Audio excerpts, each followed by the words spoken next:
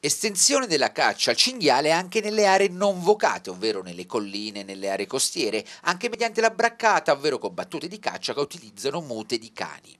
Il provvedimento arriverà in Consiglio regionale la prossima settimana ed era stato richiesto a gran voce dagli agricoltori di tutto l'Abruzzo e in particolare da ben 60 sindaci del Chietino, preoccupati dai voraci branchi di ungulati che oramai sono arrivati, immortalati da foto che hanno fatto il giro del web anche in riva al mare e che devastano le coltivazioni fino a pochi anni fa risparmiate dalle loro scorribande.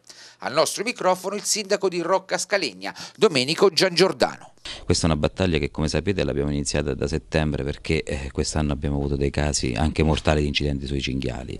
Dopo varie battaglie con il prefetto siamo stati accolti dall'assessore il quale ci ha riuniti in tavoli tecnici dove noi abbiamo portato le nostre proposte. Noi viviamo i territori, sappiamo quali danni stanno creando questi cinghiali, sia alle colture sia proprio all'incolumità fisica delle persone.